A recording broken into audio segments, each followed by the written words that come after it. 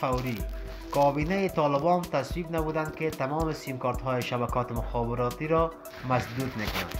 به نام خداوند بخشاینده و مهربان سلام وقتتون بخیر.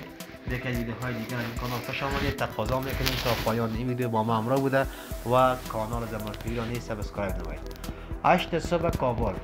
در 22 نشست کابینه طرح سیم کارت مخابراتی تصویب شد. اعضای کابینه روز دوشنبه 18 دلو به طرح وزارت مخابرات و تکنولوژی برای ثبت و وایمیدگی سیم کارت را تایید کردند.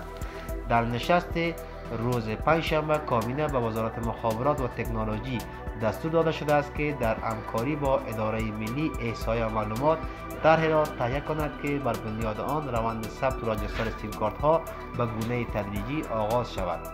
افزون بر این در نشست کابینه به کمک و به افراد دارای محلولیت و خانواده شهدا تاکید شده است و طالبان اخطار دادند که سیم کارت های بدون اسناد به هیچ وجه به مردم به فروش نرسند. تشکر از توجهتان. تا برنامه دیگر الله یار مددگارتان